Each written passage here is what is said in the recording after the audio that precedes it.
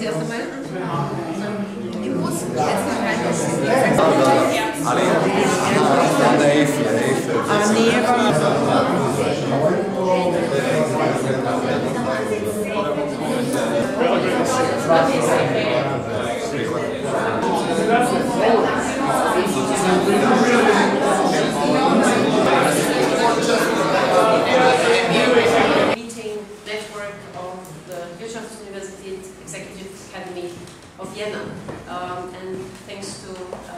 Gravins, uh, Alexander Deguc, and also the assistance, of course, of our embassy, um, Elisabeth Aderbauer and uh, Marlene Burgstaller, deputy head of uh, the Austrian Trade Mission here.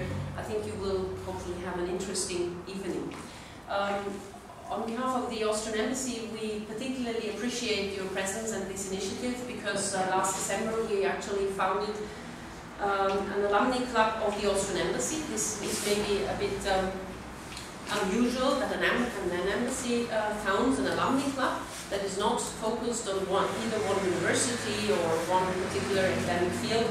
But we saw this uh, lack of networks, uh, and uh, I think with this idea uh, to found such an alumni club in December, we might have also inspired others, such as the good evening, the- such as the University of Graz, for example, that will now establish um, their own uh, um, alumni. So that uh, this kind of academic uh, activities uh, find also a focal point. in Um, what Marlene Burgstaller will certainly talk about.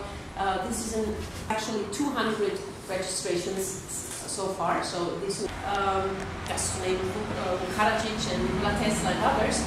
But I only found uh, one economist. Uh, so maybe this uh, uh, certainly will change. Who knows the economist? Historic.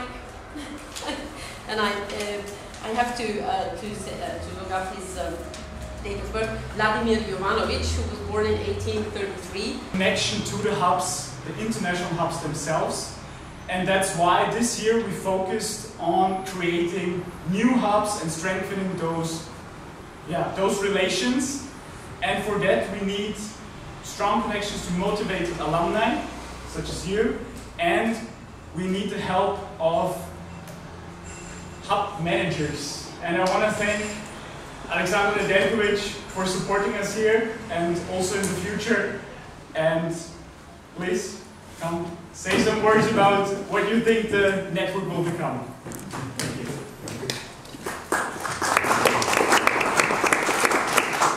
I'm very happy that I see so many people here today. So actually how it happened, that's, that's an interesting story. Um, two months ago I came to, to alumni office, I said, I'm very sad that I don't see any event in Serbia. And they said, yeah, but because we don't, not, can, don't have any, any, anybody from Serbia that want to organize something. I said, okay, if I can help, uh, I would be happy to do it. And uh, two months after, we have we have now here event in uh, in this nice place, Austrian Embassy. Um, I'm really happy that Austrian Embassy is um, supporting us with this event, also Advantage Austria. Thank you very much. Um, in um, generally, our Media Relations Office is uh, very active in the last couple of, um, let's say, months. Um, I hope that uh, I will support generally this goal to, to strengthen the, the network across the Adriatic region. Uh, we are discussing to have one, uh, one event in Croatia this summer, so I hope all alumni will also join there. I'm the uh, commercial attaché of the Austrian Embassy here in Serbia. And uh, I have very good news for you. Actually, the trade and the economic relations between Austria and Serbia are excellent.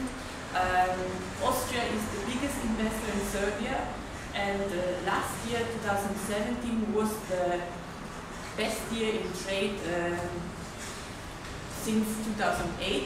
We had trade uh, from Austria exports to Serbia of 673 million euro, which was a plus of uh, 9.3%.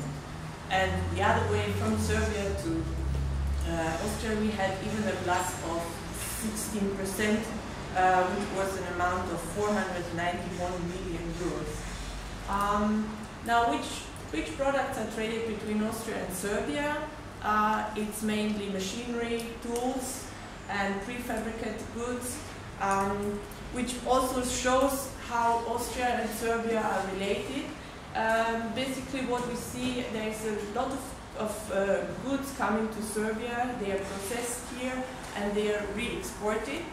Um, this is a very nice thing on one hand, but on the other hand, I would like to see more uh, more consumer goods coming from Austria to Serbia because this would tell us that the purchasing power is growing in Serbia and people can afford, say, uh, food from Austria. You know, this all kind of delicious sweets we have, uh, jams we have, whatever.